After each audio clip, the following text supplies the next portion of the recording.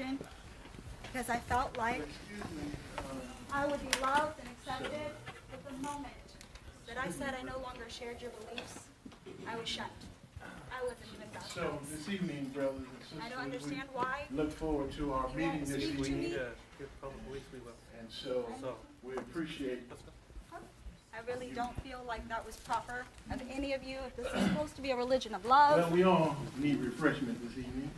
Shunning you. You know, when you think about uh, because I don't the world in which we live in, we all need to be refreshed. Dear brothers and sisters, So I implore when you you to think please about listen.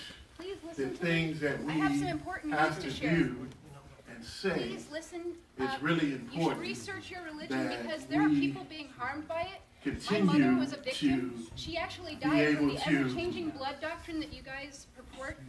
She actually died at the tender age Well, of as only we- we continue to old. She was look forward to our meeting, into this religion at age 12 one of the things that we- at age 15. we can appreciate Now, also, is there are that, children being abused uh, and nobody is doing anything about we it. hope that The this meeting tonight not record it. refreshes us. They will not When you think about some of the highlights for tonight's meeting, what we look forward to, we look forward to treasures from God's Word. Sorry, 1,000 pedophiles and two Highlight how Jesus offered refreshment to us.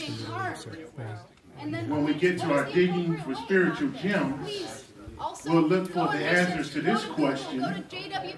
It's, why did John the Baptist ask this question based upon Matthew, the 11th chapter? It kills all of our verses 2 and three. Please, I beg of you, please. And then we'll get into our Bible reading this evening, and then we'll apply yourself uh, to the ministry.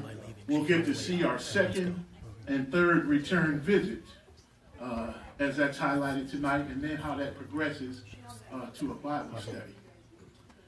And then we'll look forward to living as Christians. We'll have a video, refresh all those tore and loaded down. Australian Royal Commission. And then we'll conclude with our Bible study. So we'll invite Brother Coggin up to open our meeting. Being sued four thousand dollars a day. Okay, this is from the solicitor. Um, and because they would not release the database of pedophiles in the congregation. To the average person, what I have here in my hand may just seem like a regular bottle of water. He's gonna talk about. But what about to someone who's been without A water day because they will not two release the and a half pedophile days? database. Well, this is probably the most beautiful and refreshing thing. Let's go ahead and go. in the kingdom hall. All right. In our Bible reading this week, Let's go. in Go ahead and follow chapter her. 10, Let's go, man.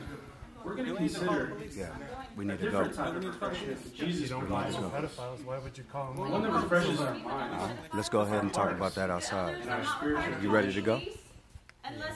Come on. Take advantage of this type of Okay, we'll follow her out. refreshment that Jesus has to offer. Are you safe? just as valuable to our lives. Huh? Come on outside. Let's go ahead and jump right into it. Read our first scripture, Last time I Matthew chapter 10, Okay. At verse 29 and and 30. And let's take a look at what kind of refreshment Jesus has to offer You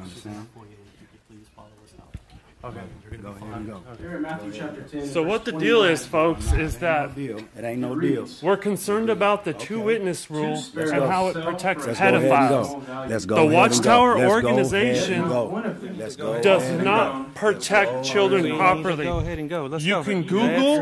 Let's go. Candace Let's go. Conti. Let's Go go. Let's go. go. How you doing? Come on. Let's go. You can Google Jesus can't you, you know You're, you're, you're not invited here. Let's go now. And they're calling. Okay. Okay. At the time when Jesus So said this, Google everything you can about this Well, this is religion. coming now. Stop your shunning of your loved ones. points out that at the time when Jesus said this, two sparrows or small birds cost. Please do your research, folks. One is there. Do not follow the two witness rule. About the wage a man could earn in 45 minutes of work at that time. Stop using the two witness rule to protect Jesus said at another point in his ministry that five uh, sparrows could be.